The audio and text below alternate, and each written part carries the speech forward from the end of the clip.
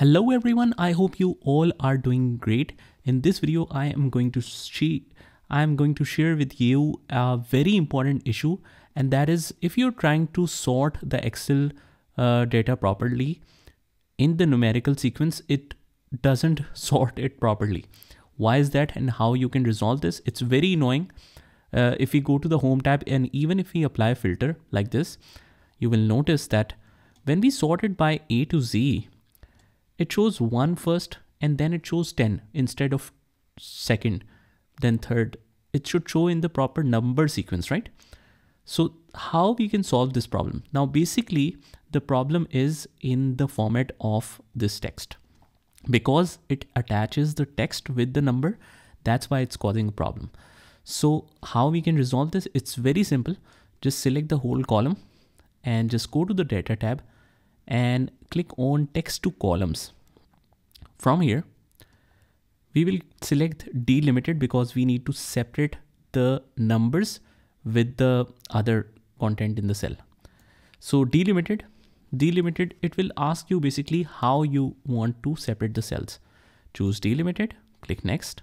And now we will say that after dot, whatever is after dot should be in the separate column. So it automatically filters the number separately.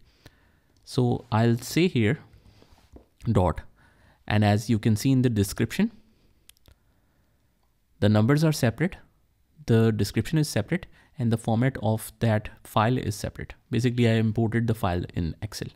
So click on finish and now you can see that everything is properly showing now let's name it as serial number. Let's name this one as description.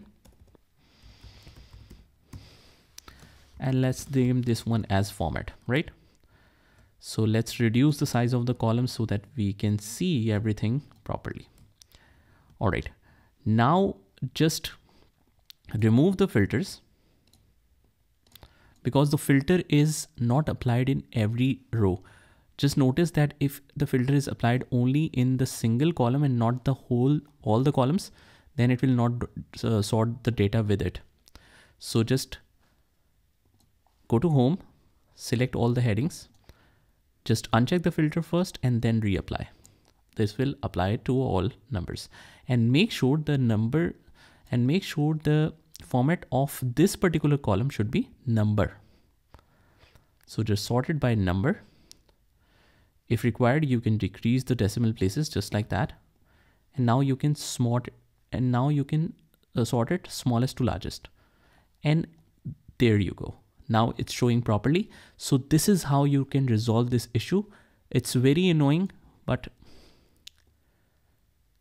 it also has a very simple solution. So I hope you found this video helpful and if you did, hit the like button and subscribe to our channel. Also, if you want to learn some more amazing stuff on Excel, you can join the playlist link in the description and also join our course.